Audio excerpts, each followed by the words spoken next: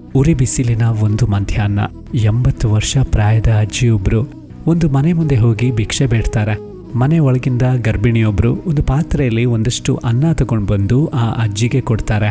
ಆ ಅಜ್ಜಿ ಅನ್ನ ತಗೊಂಡು ಆ ಗರ್ಭಿಣಿ ಮಹಿಳೆ ಹತ್ರ ತಿರುಗಿ ಕೇಳ್ತಾರೆ, ಎಷ್ಟು ತಿಂಗಳಾಗಿದೆಯಮ್ಮ ಇದು ಮೊದಲನೇ ಹೆರಿಗೆನೋ ಹೇಗೆ ಅಂತ? ಆಗ ಆ ಗರ್ಭಿಣಿ ಹೇಳ್ತಾರೆ ಹೌದಜ್ಜಿ ಎಂಟು ತಿಂಗಳಾಗಿದೆ ಅಂತ. ಹೌದಾ, ನಿನಗೆ ಒಳ್ಳೇದಾಗ್ಲಮ್ಮ. ಹೆದರಬೇಡ. ನೋವೇನೂ ಆಗೋದಿಲ್ಲ. ಮಕ್ಕಳಿದ್ದು ಭಿಕ್ಷೆ ಬೇಡಿ, ಅನ್ನ ತಿನ್ನೋವಾಗ ಆಗೋವಷ್ಟು ನೋವು ಹೆರುವಾಗ ಖಂಡಿತ ಆಗೋದಿಲ್ಲ ಅಂತ ಹೇಳಿ ಆ ಅಜ್ಜಿ ಅಲ್ಲಿಂದ ಹೊರಟು ಹೋಗ್ತಾರೆ.